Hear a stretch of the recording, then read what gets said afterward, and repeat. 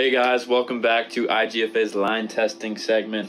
Today we are going to test some Beyond Braid in 80 pound. So for the 37 kilogram or 80 pound line class, you're allowed up to 81.5 pounds in breaking strength. So let's check it out and see where this breaks. All right, so you guys might notice we have the big grips out and also we have sticky notes inside of here. This is just to improve grip because braid is super thin and super strong, so it prevents it from slipping.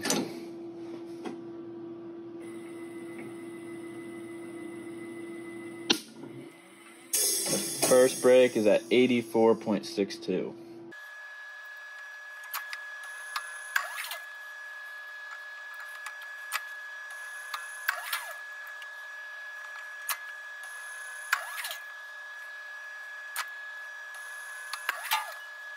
All right, Beyond Braid, an 80 pound, broke at 86.42 on average with a 5.35 standard deviation, um, a low break of 78.14, and a high of 92.05. It's not uncommon to see this high of a range in higher braids, especially when compared to fluorocarbon or monofilament. But with that being said, at 86.42, this would not qualify for the 80 pound line class category. We would attempt to bump it up to the 130 pound but if the catch was not heavy enough to qualify, you'd be out of luck.